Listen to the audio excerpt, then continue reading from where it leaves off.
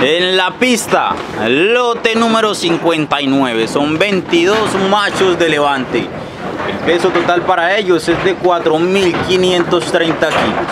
El peso promedio para cada uno es de 206 kilos procedentes de Puerto Boyacá.